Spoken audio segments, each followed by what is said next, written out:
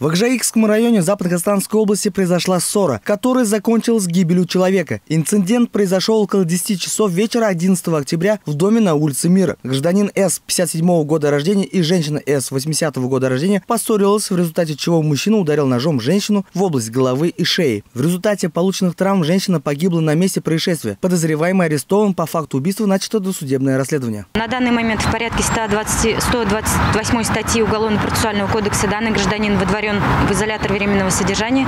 По данному факту начато досудебное расследование по части 1 статьи 99 Уголовного кодекса Республики Казахстан. Назначены все соответствующие экспертизы.